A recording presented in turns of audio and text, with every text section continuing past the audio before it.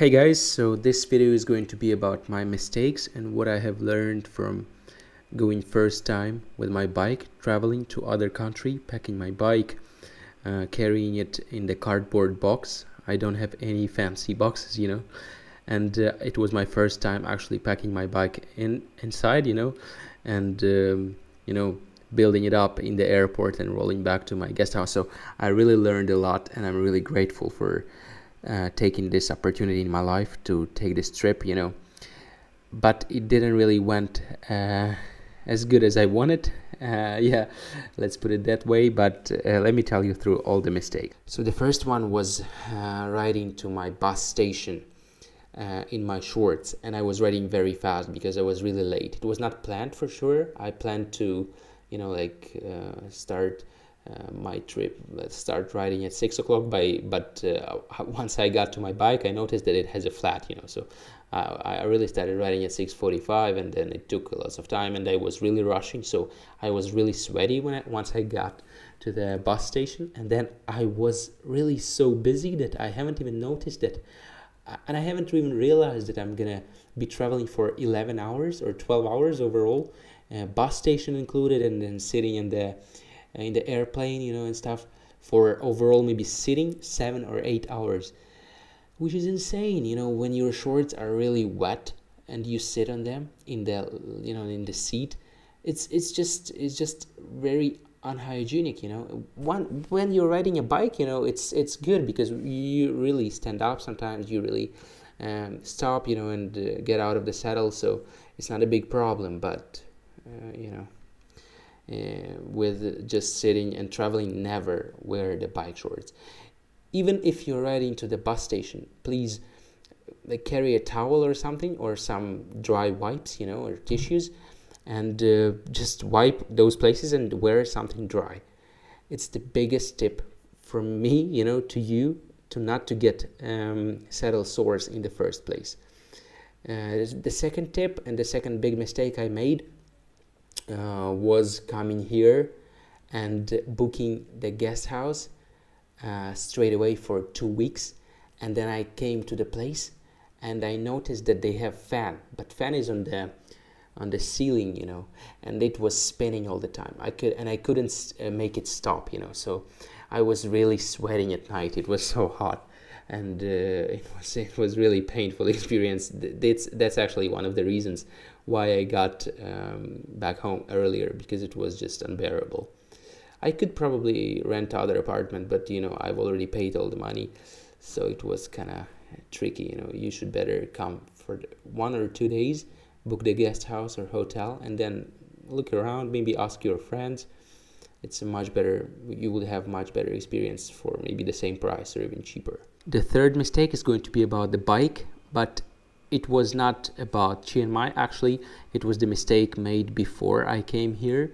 So the thing was I purchased 28 mil tires Maxxis Refuse great tires but they didn't match my rims. You know my rims are too narrow.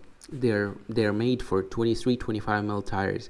That's what I realized in Chiang Mai actually uh, when I had huge saddle sores and I was trying to find out why do I have so many flats I actually told Trevor that I had literally flats every single time I went up the door, almost every single time of all six days that I was riding. So it was really unpleasant, especially when I was going downhill. So the thing was, uh, guys, and I want to really encourage you. I, I still don't really know this exact specifications, you know, how to find um, like what's the measurement for narrow and wide rims, but I know that my rims, I measured them once and um, they were only for 23, 25 mil tires. I checked the, you know, numbers for rims and tires. So please, if you have, actually, I think most of the wheels uh, budget low budget they have they're only for 23 25 mils i guess it's more advanced uh, wheels that are made for more wide you know rims and they can carry 28 mil and more uh, tires so it was the huge mistake. It made my riding much less enjoyable because I had to fix my flat almost every single time I went for riding. And I remember even thinking that uh, freaking hell how am i going to go to Doi Inthanon uh, like you know I, I had so many ideas why it's gonna uh, why what's going on because in the first place i was putting the inner tubes 1823 mil inside or 1825 and i thought probably that's because mm, they are too uh, those two small tubes you know for 28 mil tires and that's why probably i i'm getting those pinch flats you know. Then the other uh, thing was i thought when i actually installed 28 mil inner tubes uh, I was like, hmm, uh, maybe there is something inside of the tire, you know, so I have to inspect it. So I was inspecting it so carefully, but I couldn't find anything.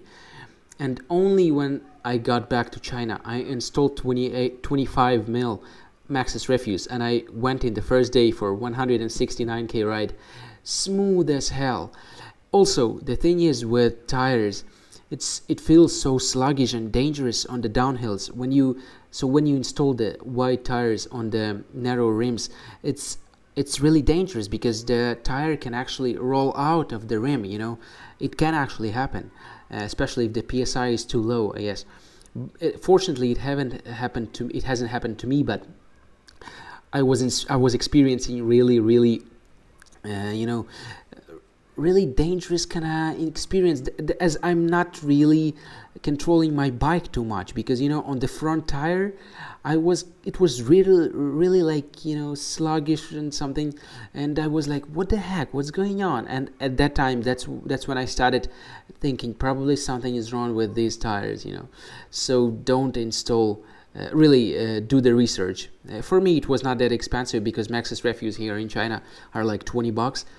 Uh, but uh, overall it makes your writing so much uh, worse you know actually like it really fucks up all your experience. And yeah once i install 25 mils i've already done in about four or five days like six seven hundred k's.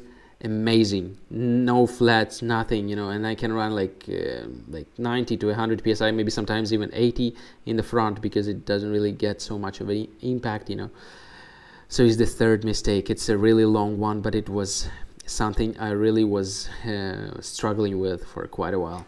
So i guess these three mistakes are the main mistakes actually that lead to other problems and uh, not that pleasant experience overall but they taught me so much you know. Uh, like now i know that if i'm gonna come i'm gonna really come with new tires that match my rims that I'm gonna make sure that I'm not gonna be having punctures all the time. Then uh, I'm gonna be sure that I'm staying in the nice place and uh, I'm gonna check it first. The other thing uh, that I'm gonna do is never ride uh, never actually travel in the bike shorts. Actually on my way back you know what I did? I also cycled to the airport but uh, once I got there I changed my shorts and I wear new uh, sorry wore new uh, cycling shorts, the same shorts but new and dry, completely dry. But then I noticed there is something with this material, probably synthetic or something, that it still got really wet, you know. Even after sitting in the airplane for two hours, it, it was a little bit wet out there.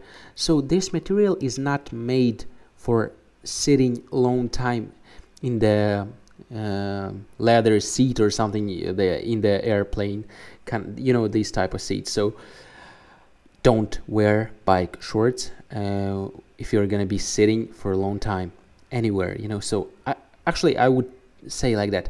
Don't wear your cycling shorts in the long trips uh, if you ride to the airport please make sure that you have some spare stuff like shorts because actually in this trip i carried only one pair of other shorts you know and that's it and i think it's enough i was just not um, um, thinking that it's going to be so crucial, you know, for me.